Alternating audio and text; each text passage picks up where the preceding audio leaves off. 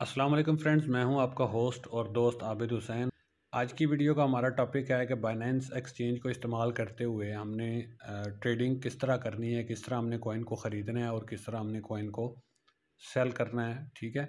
और इस हवाले से मैं पहले आपको एक ओवरव्यू छोटा सा दे देता हूँ बाइनेंस एक्सचेंज का, इसके इंटरफेस का।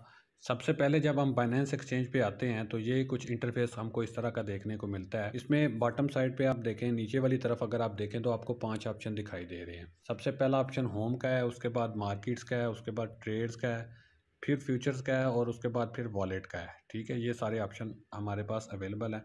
अगर आपके पास इस तरह का इंटरफेस बाइनेंस का नहीं आ रहा तो आपने टॉप लेफ़्ट कॉर्नर जो है, ऊपर वाली लेफ़्ट साइड से ये जो जहाँ पे बंदा सा बना हुआ है, इस पर आपने क्लिक करना है।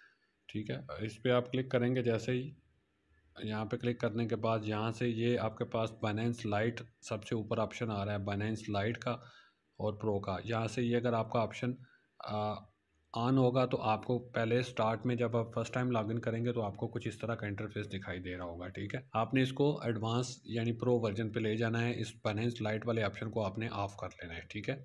जैसे ही आप इसको ऑफ़ करेंगे तो आपके सामने ये ऑप्शन सारे आ जाएँगे home markets trades future wallet तो ये होम इंटरफेस है जहाँ पे हमको कुछ वो बत, दिखा रहा है कि ये बीटीसी की प्राइस ये चल रही है बीएनबी की ये चल रही है थीरियम की प्राइस ये चल रही है। इसमें सबसे पहले नंबर पे ये हॉट जो ऑप्शन अवेलेबल है हमारे पास, इसके इस पर जब हम क्लिक करते हैं तो ये हमें हार्ट कोइंस के बारे में डिटेल्स दे रहा होता है। हार्ट कोइन से मुराद ये है कि बाइनेंस एक्सचेंज पे जो ज़्यादा सर्च हो रहे हैं कोइंस और वो वाले कोइंस की लिस्ट हमको ये दे देता है, ठीक है? इसमें ये सारे कोइन हॉट लिस्ट में है कि मतलब इन पे लोग से ज़्यादा सर्च कर रहे हैं।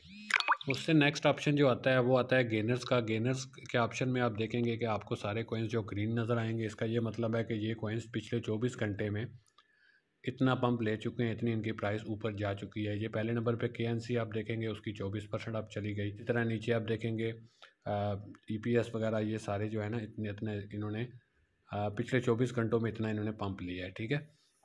उसके सम, उसके बाद ऑप्शन आता है लूज़र का लूज़र के ऑप्शन में वो कॉइन आपको नज़र आएँगे जो पिछले 24 घंटों में ड्रॉप हुए हैं, जिनकी कीमत डाउन आई है। और आवर वॉल्यूम इसका मतलब ये है कि पिछले 24 घंटों में इन कॉइन्स पे जितनी जितनी अमाउंट की ट्रेडिंग हुई है, वो सारी वॉल्यूम यू दिखा रहा है। जैसे बी टी पे वन बिलियन की ट्रेडिंग हुई है अथीरियम पे जो है वो 1.54 इसी तरह ये नीचे सो ये दिखा रहा है कि ये टॉप वो कॉइन्स हैं जिन पे ज़्यादा वॉल्यूम आ रहा है, जिन पे ज़्यादा ट्रेडिंग हो रही है। नेक्स्ट हमारे पास जो ऑप्शन आता है मार्केट्स का मार्केट्स के ऑप्शन में सबसे पहले फेवरेट फेवरेटीज़ आता है। फेवरेटिज़ में आपने वो कोइन जो सारे फेवरेट किए होते हैं वो यहाँ पे आपको दिखाई देते हैं जैसे आ, और इसके अलावा स्पॉट है उसके बाद ऑप्शन स्पॉट ट्रेड में आपको वो सारे कोइंस नज़र आएँगे जो इस फाइनेंस एक्सचेंज पे ट्रेडिंग के लिए अवेलेबल है। ये बहुत लंबी लिस्ट है।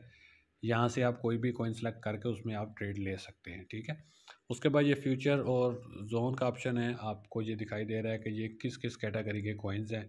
डेफी के कोइंस हैं प्रूफ ऑफ़ स्टेक के कोइन हैं इनोवेशन के हैं, ठीक है? Layer one layer two E T F gaming N T N F T launch pad ये सारी चीज़ें, ये मुख्तलिफ़ कैटेगरीज़ के हिसाब से ये आपको कोइंस दिखा रहे हैं। इसके बाद फ्रेंड्स नेक्स्ट जो ऑप्शन आता है वो है ट्रेड्स का।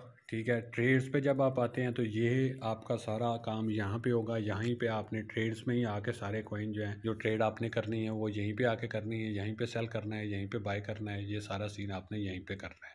जैसे ही आप ट्रेड्स पे हैं तो ऊपर आपको एक ऑप्शन दिखाई दे रहा है स्पॉट का जो हाईलाइट हुआ है अभी, इसके सामने मार्जिन का है फीएट का है और पी टू पी हमने स्पॉट ट्रेडिंग ही करनी है तो हम स्पॉट ट्रेड को ही सिलेक्ट करेंगे यहाँ पे।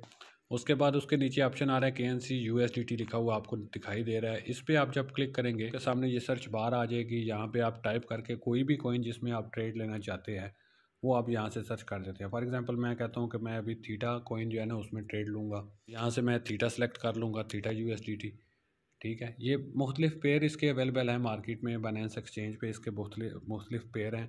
फॉर एग्ज़ाम्पल हमारे पास हम पी टू पी से U S D T buy करते हैं तो हमारे पास अगर यू एस डी टी पड़ा है तो हम इसको यू एस डी टी के साथ भी ख़रीद सकते हैं। अगर हमारे पास बी यू पड़ा है तो उससे भी हम इसको ख़रीद सकते हैं। बी एन बी पड़ा है तो उससे भी हम इसको ख़रीद सकते हैं। B T C Ethereum euro जो भी कुछ हमारे पास पड़ा हुआ है बाइनेंस पे, ये जो इसके पेयर नज़र आ रहे हैं, इनमें से कोई भी चीज़ हमारे पास पड़ी हुई है तो हम उसके बदले में ये थीटा कोइन को ख़रीद सकते हैं। हमारे पास फ़िलहाल यू पड़े हैं तो हम यू पेयर ही सिलेक्ट करेंगे। ठीक है जैसे ही हम सेलेक्ट करेंगे तो ये हमारे पास ऑप्शन आ जाएँगे। अब उसके बाद नीचे ऑप्शन ये बाय का ऑप्शन आ रहा है ये सेल का ऑप्शन आ रहा है। सबसे पहले हमने इसको बाय करना है तो हम बाय पे जाएँगे। यहाँ से ये मार्केट पे सिलेक्ट है तो हम इसको मार्केट पे भी सिलेक्ट करके ले सकते हैं। मार्केट पे अगर रखेंगे हम तो इसका ये मतलब होगा कि अभी जो करंट प्राइस इसकी चल रही है जो भी प्राइस इसकी चल रही होगी आप अगर मार्केट को सिलेक्ट करते हुए यहाँ पे इसको बाय करेंगे तो अभी के रेट पे ये बाय हो जाएगा।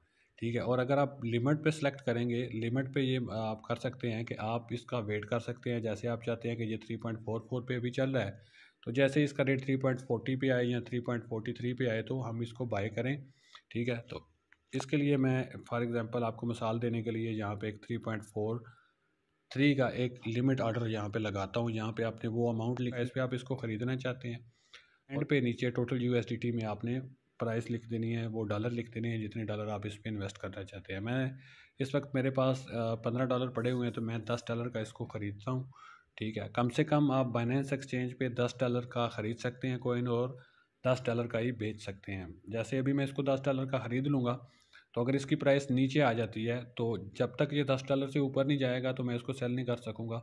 कम से कम जो है ना, इसको मैं सेल तभी कर सकूँगा जब इसकी प्राइस दस डॉलर से ऊपर होगी। ठीक है? तो हम इसको दस के बजाय ग्यारह डॉलर का बाय करेंगे, क्योंकि हर दफ़ा जब हम कोई भी कोइन यहाँ पे बाय करते हैं तो बाइनेंस एक्सचेंज जो है ना, उसमें से फ़ी कट करती है, ठीक है? टोटल यू हम जहाँ पे जितने भी एंटर करते हैं, उसमें से बाइनेंस एक्सचेंज ने अपनी कुछ फ़ी कट करनी होती है। और उसके बाद फिर वो हमारे वॉलेट में उतने कोइन जो है ना, वो ट्रांसफ़र कर देते हैं, जितने हमारे बन रहे होते हैं, ठीक है? यहाँ पे हम लिमिट आर्डर लगा रहे हैं थ्री पॉइंट फोर थ्री पे इसको हम ग्यारह डॉलर का ले रहे हैं बाय करेंगे तो ये हमारे पास ओपन आर्डर्स में ये हमारा ऑर्डर प्लेस हो गया है। जैसे ही इसकी price three point four three पे आएगी तो ये ऑटोमेटिकली जो है ना, ख़रीद लेगी एक्सचेंज इसको हमारे लिए, ठीक है? उसके बाद ये नीचे फ़ंड्स का ऑप्शन है। फ़ंड्स के ऑप्शन में आप देख सकते हैं कि जो भी आपने कोइन ख़रीद के रखे होंगे, ठीक है, वो आपके पास इस तरह आपको नज़र आ रहे होंगे, जो आपने ख़रीद के रखे होंगे। जैसे ये थीटा मैंने पहले भी ख़रीद के रखा हुआ था वन इंच सुशी वो, ये सारे मैंने ख़रीद के रखे हुए थे तो ये इस तरह आपको जब आपने ख़रीद लिए होंगे, काफ़ी सारे कोइन तो ये इस तरह आपको नज़र आ रहे होंगे अब इसके बाद फॉर एग्ज़ाम्पल हम हम ज्यूम करते हैं कि इसकी प्राइस नीचे आई और इसने ये हमारा लिमिट ऑर्डर उठा लिया और उसके बाद ये फ़ंड्स में यही समझ लें कि आप ये अभी हमारे पास हमने इसको ख़रीद लिया था। अब हम देखते हैं कि इसकी प्राइस जो है वो थ्री पॉइंट फिफ्टी पे चली गई। तो हम अब अब हमने अब हमने इसको सेल करना है तो हम सेल के बटन पे जाएँगे। यहाँ पे जो है ना, इसको हम मार्केट रखेंगे अगर तो वो जो रेट करंट उस टाइम पे चल रहा होगा, जब हम इसको बेच रहे होंगे, उसी रेट पे ये सेल हो जाएगा। लेकिन अभी रेट वहाँ पे नहीं गया तो हम इसका रेट भी लगा सकते हैं लिमिट ऑर्डर भी लगा सकते हैं। हम कहते हैं कि जैसे ही इसकी प्राइस थ्री पॉइंट फिफ्टी पे जाए तो ये हंड्रेड परसेंट थीटा हमारा जो है ना, वो सेल हो जाए। जैसे ही हम यहाँ पे सेल का बटन दबाएँगे तो जिस तरह हमारा बाइंग का ऑर्डर लगा था, उसी तरह हमारा सेल का भी ऑर्डर लग जाएगा। लेकिन सेल का ऑर्डर उस टाइम पे लगेगा, हमारा जो बाय का ऑर्डर है वो ट्रिगर हो चुका होगा। उसके बाद फिर हम इसको सेल ऑर्डर भी अपनी मर्ज़ी से लगा सकते हैं कि इतने प्राइस पे जब इसकी वैल्यू जाए, इतनी आप जाए तो ये वहाँ पे जाके ऑटोमेटिकली सेल हो जाए। ठीक है? ये सिंपल सा तरीका था बाय और सेल का लिमिट आर्डर और मार्केट आर्डर आपको लगाना मैंने सिखा दिया।